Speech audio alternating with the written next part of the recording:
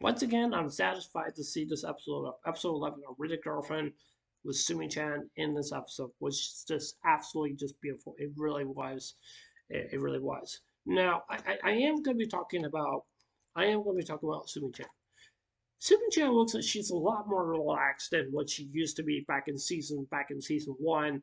And, you know, she didn't really, respond really all that all that much. She really did. She really did not. She really did not. And you know, I can just tell. I can just tell that she has the confidence, you know, to be with Kizuna and, and stuff. You know, even though even I do agree with some of the people down in the comments were saying like, you know, workplace were saying like, you know, I mean, you know, Sumi Chan, Sumi Chan should be with Kizuna.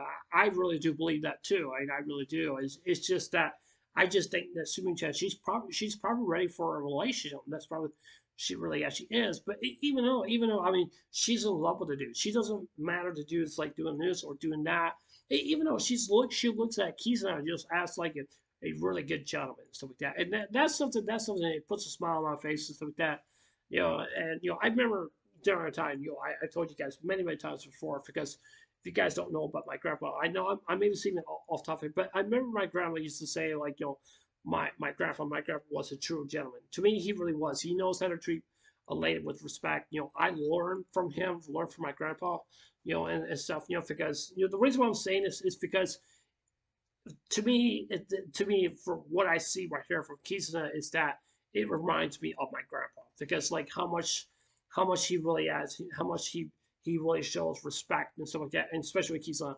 And you know, that's basically is basically what he's And you know, it's just Kizuna's character. I mean, I know I, I want people just to understand is that my grandfather was my grandfather did not watch no anime. He didn't. He did. I mean, I know he's a lot more different than basically what I'm saying here, basically, you know, between between real life and anime and stuff like that. But basically, the reason I'm saying it is because this is just based basically what I see.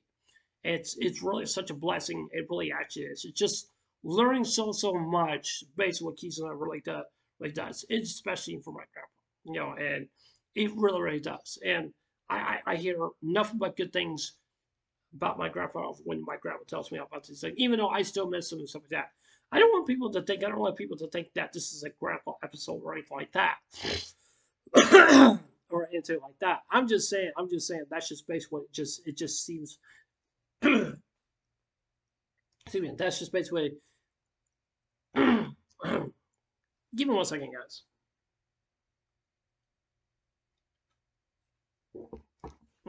Okay, sorry about that. I just need something. I just need to drink real quick.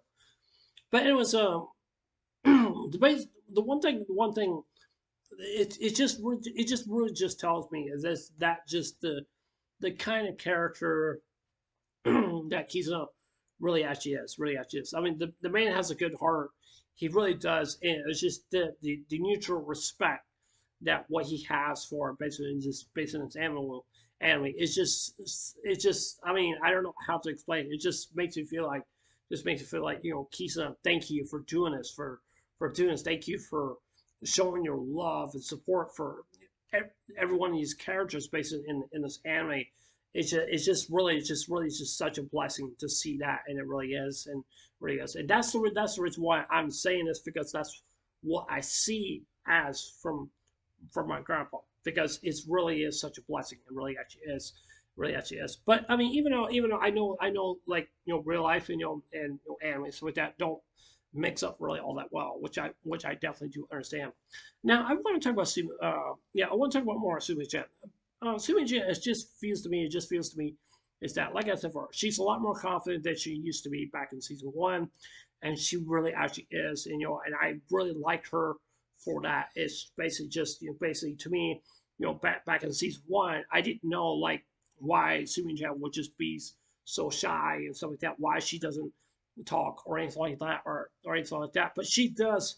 But she, you could just tell like she does have really good feelings for Kisa, and and that's what it basically feels. That's what basically it, it feels. It feels to me. As you could just tell, like you know, I remember what uh, Chizuru, like Chizuru, or, or Mizuru, whatever you want to call her, Mizuru, uh, basically, she just told she just told uh, Kisa that don't mess this up. Don't mess this up. This is your one chance. Don't blow it. And I think the reason why she's just saying that because because because uh, Sumi Chan does not have a whole lot going for her based on real life. Okay, and the reason why the reason why I'm saying the reason I'm saying this is because is because I, I just don't think to to me from what I from what I think from what I see basically in this anime is that she doesn't really have the free time the free time you know like go on dates or anything like that even though she's busy with school or college whatever maybe it is or something like that but she's always but she's always tuned but she's always actually preparing for something for something you know basically what you know going to school or whatever maybe it is that she really wants to do and even though I like that you know and I really do and I really would do. I just don't think that Sumi Chan is basically the kind of character that she would just, you know, jump into a relationship just like that, you know, just like that. Because I like the fact she's just taking her time. That's all she's just doing. She's feeling, she's feeling, um, feeling different things, feeling, you know, like, you know, different things, you know, basically what, what can, what can make Kisa very happy. And I think just, she just, she's just doing that. But she's not rushing in, just basically like saying, yeah, I'm to rush in to see like, what Kisa is really actually to do. But the one thing I, the one thing is, is just to me from what, like I said, for from what I'd love from her, is just basically it's just basically that, that she's she's not doing this for herself, but she's doing it but she's doing this because she's doing this because, like I said before, she really is in love with Kisa, and she really actually is, and she and she really has. Just there's no denying it and stuff like that. That's basically seems to me. I mean, I, I don't know who's going to end up with Kisa. I, I don't know.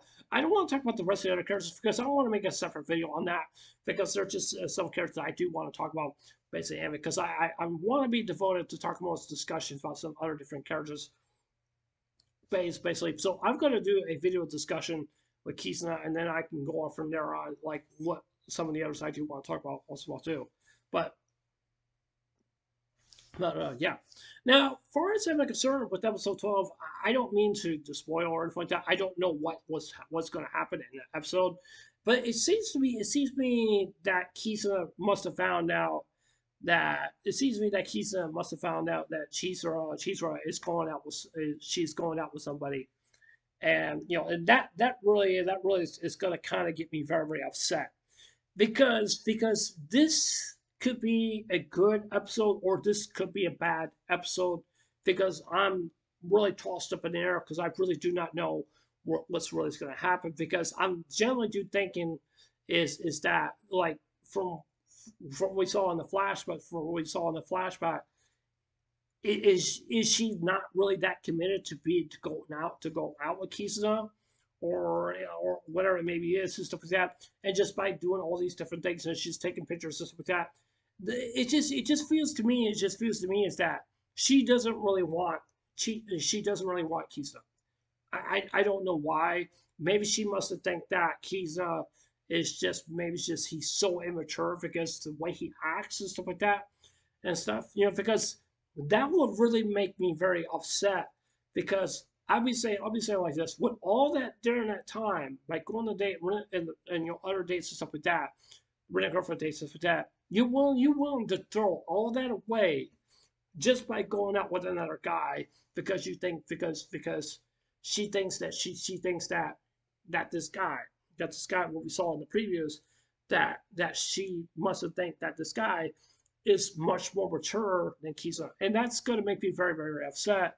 And I I, I want to see I want to see the episode. I, I really do believe there's going to be a cliffhanger at the uh, at the end of the episode. I really do think so. The, uh, the last episode, I, I really do think so. I, I need to I need to, I need to find some things out because because I, I, I want to know. I want to know. I, I'm serious. I really do want to know like what is key what is Chizuru really going to do. What what what she really actually going to do. I don't I don't know. I just I just really want to know because I, I'm kind of curious about who this guy basically actually is or or maybe she didn't tell keys enough because because that she's going out with a different guy and stuff like that. And I'm assuming that's going to make Kisa uh, jealous. I'm assuming that really is that, that really is, but we just we just don't know if that was going to be the case yet or not. So I, am kind of conflicted, and I'm probably going to get very upset with this uh, with the last last episode. It just depends. It just depends from the way I want to the way I want to see it. But I'm hoping it turns out good.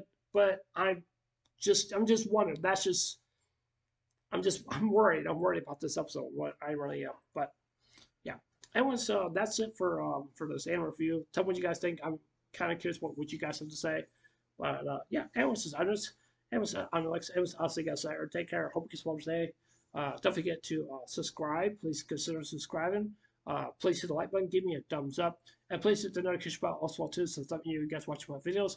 And please leave your comments below. Anyways, I love you guys. Take care. Hope you guys have a day. Take care. God bless.